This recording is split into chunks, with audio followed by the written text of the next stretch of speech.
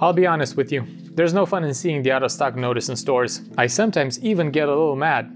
And this is totally counterproductive for the store. Brands should be focused on raising customer awareness well in advance of the all important launch date by employing a mix of marketing strategies. Why not start selling something way before the launch date of that item? With the Vitals pre-order app, you can increase your revenue by allowing visitors to pre-order products that are either temporarily out of stock or not yet released.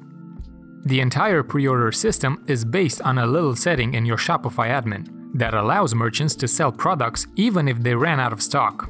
It's called continue selling when out of stock, and when this setting is checked, we'll show the pre-order button and note on the product page. If we check this product, we'll see that the first two variants, the 9 ounces and the 11 ounces ones, are both out of stock. We've already seen that the first variant doesn't have the option checked, but the second one, as you can see here, has the option enabled. Let's open this product page. You'll see that the first variant, which is not supposed to be offered anymore, is marked by Shopify as out of stock, and you can even add it to cart. The second variant has the standard add to cart message, even if the product does not have sufficient inventory. If visitors would buy this product, they would expect to receive it ASAP, something that our pre-orders app tries to fix. Let's enable the app and force refresh the product page to clear the browser's cache faster. The first variant still has an out-of-stock notice, while on the second one you'll see both the customized button, pre-order now, as well as the note ships in two weeks. If you add the product to cart and then go to checkout, you'll see that the product is marked accordingly as a pre-order throughout the entire purchase cycle.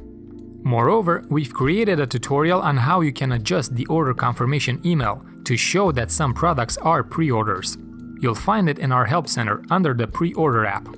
To make it easier for you to quickly find the orders that contain pre-orders, check this first option. We'll automatically add a Vitals pre-order tag, and you'll be able to quickly identify the orders in your Shopify list. Coming back to the app, you will be able to customize all the text, but you can also add customized pre-order information for some of your products. If you have a product that's planned to arrive in one week and another one due to arrive in three weeks, you can click here, select a product, and then add a custom button text and additional information. If you found this video helpful, make sure you subscribe to the channel as we post new videos every single week.